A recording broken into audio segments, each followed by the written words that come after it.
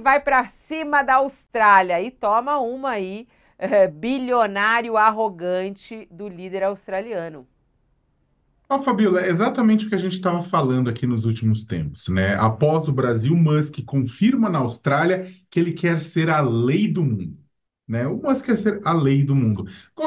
Percebam bem, a Austrália é um país, para quem não conhece, que está é, há um bom tempo fazendo discussões internas e ações internas muito interessantes no sentido da regulação das plataformas digitais, tal como a Alemanha, tal como o Brasil, tal como a França, tal como outros países que se preocupam, né, com, é, com essa confusão que o pessoal tem muitas vezes, a liberdade de empresa das plataformas sendo confundido com liberdade de expressão e liberdade de imprensa. Uma coisa é liberdade da empresa, outra coisa é liberdade de expressão e da imprensa. Muitas vezes a liberdade total dada às plataformas distorce o ambiente do debate público, afetando a liberdade de expressão e a liberdade de imprensa. As duas coisas não podem ser confundidas né? Ou alguém acha que, por exemplo, o conteúdo distribuído na plataforma do Musk sobre do próprio Musk não ganha mais tração simplesmente porque ele é o dono.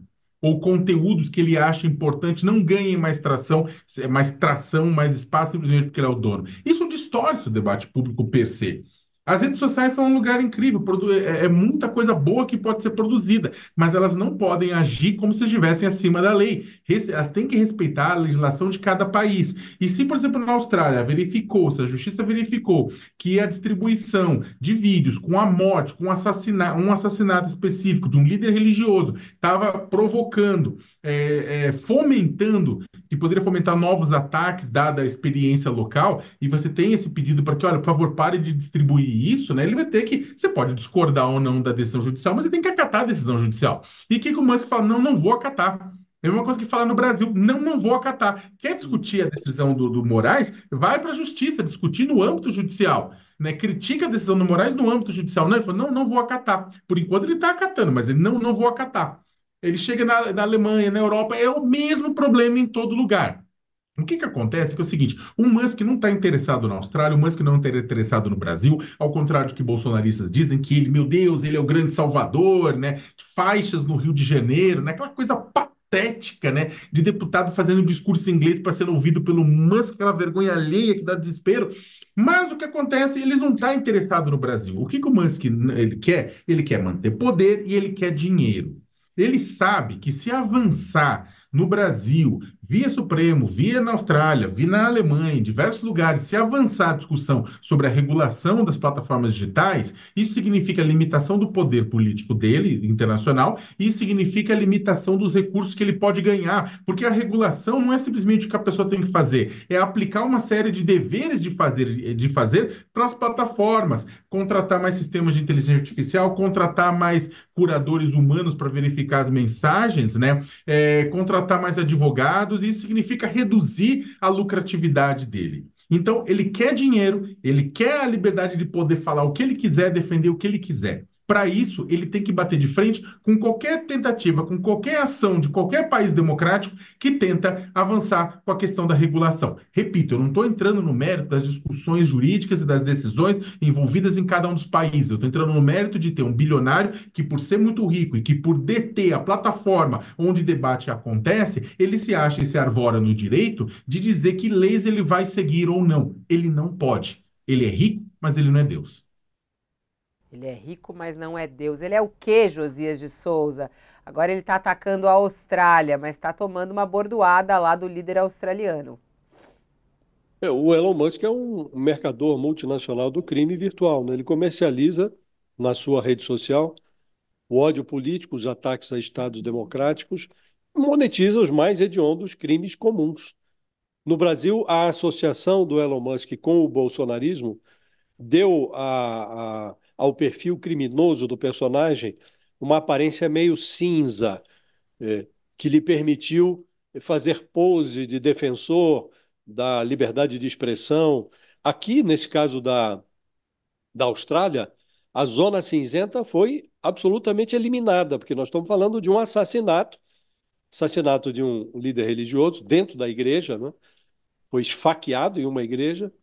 É, e um, um bispo cristão assírio, e é, a justiça determinou por razões óbvias, você colocar um esfaqueamento em rede social é um estímulo à delinquência, um estímulo ao crime.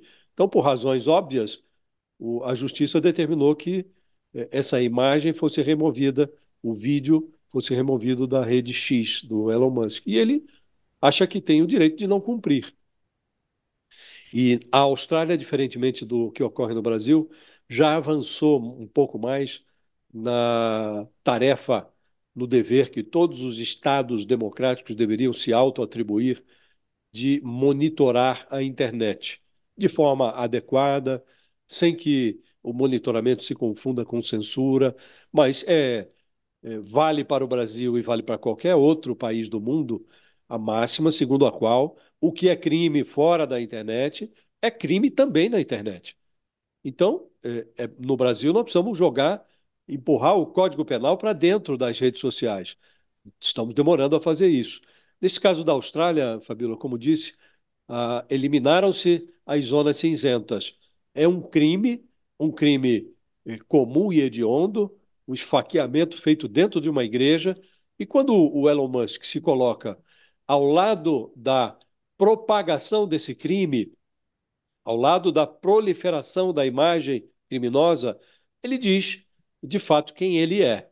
É um pistoleiro internacional que é, mercadeja é, em, em âmbito multinacional o crime. Faz isso em ambiente virtual, poderia fazer num ambiente convencional. É, então, é assim que o, o personagem deve ser tratado, como um cultor do crime, como um é, estimulador do crime. Portanto, ele próprio, um delinquente. O que, que, os países devem fazer, as justiças dos países devem fazer diante disso, hein, professor Mairovich? Como é que o senhor analisa esse episódio agora é, da Austrália, ele querendo descumprir uma decisão, falando que ia descumprir uma decisão é, da justiça australiana? Olha, Fabiola, é, tem uma lição de direito processual que diz que o vencido é, nunca se convence, o vencido nunca é convencido do acerto da decisão. E por isso, nos Estados democráticos, existe o recurso, o reexame, e não se resolve nunca numa única instância, em regra. Esse é o sistema democrático. Esse é, bilhardário, o que, que ele faz? Ele não recorre das decisões, ele usa das mídias sociais para reclamar. E às vezes se passa até pelos mal informados, tipo o Bolsonaro, que diz que ele é um mito da liberdade de expressão, ele Musk.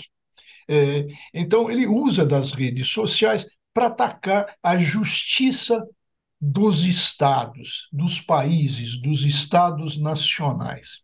Esse, evidentemente, é o pior caminho, porque não resolve coisa nenhuma, não se reexamina nada. Fica só o quê? Um protesto que ele faz pelas redes. Mas quem é que está protestando? a pessoa que o Josias e o, e o Sakamoto bem colocado. Um argentário, aquele que só tem na sua vida uh, por objetivo ganhar dinheiro e que se lixe o resto. Uh, a desinformação, o discurso do ódio.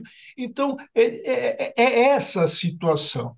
Como os países reagem reagem com investigações, com o devido processo. Agora, o que ele não tem na cabeça dele é que o vencido, o descontente, tem recurso nos países democráticos. E isso ele não faz, não vai fazer nunca, porque sabe que vai perder. Porque a pretensão dele é uma liberdade total nas redes. Não interessa o conteúdo, interessa ele ganhar. É o espírito que ele tem argentário e que o leva à condição, como o Josias bem chamou, de um delinquente internacional. É, e o, o Benício falou, o pessoal gostou do apelido do bilionário arrogante, já deram vários apelidos para ele.